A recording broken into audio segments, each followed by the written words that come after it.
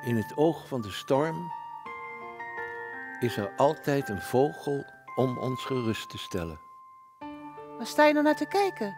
Kom liever zitten. Het heeft geen zin om daar zo te staan. Wat doe je? Hè? Sta je dan jezelf te praten? Eh, eh, nee, nee, ehm, we hadden het over het huis en we... De onbekende vogel. Hij zingt en zingt en vliegt dan plotsklaps weg. Het viel me op dat hij het vaak over je heeft in zijn notities. Vind je het gek? We zijn een halve eeuw samen geweest. Maak je nou niet ongerust. Ze komt zo terug. Hè? Wat? Over wie heb jij het? Over je moeder. En op straat, heb je het gezien? Zodra ik één voet buiten de deur zet, begint iedereen over hem. Hier, hier, hier staat mijn stoel. Daar heb ik net in gezeten.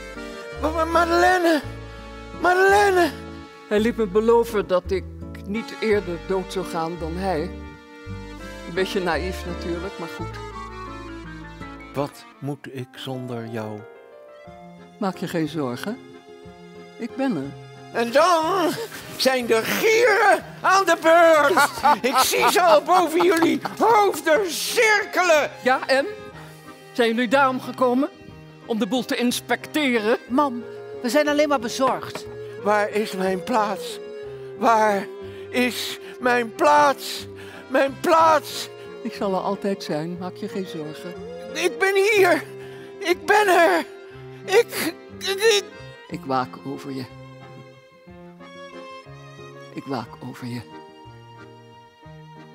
Lieveling.